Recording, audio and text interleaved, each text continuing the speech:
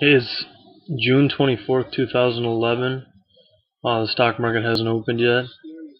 Um, I'm looking to buy Chimera, CIM, today. The ex-dividend day is coming up next week.